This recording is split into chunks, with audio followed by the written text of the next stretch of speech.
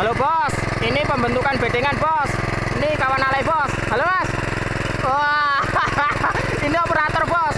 Lihat bos, ini yang belum diaduk bos. Ini mau dipasang mulsa, jadi diaduk langsung uh, dirapikan pakai alat sedemikian rupa bos ya. Lihat bos, itu mesin nyaca yang belakang merapikan bos.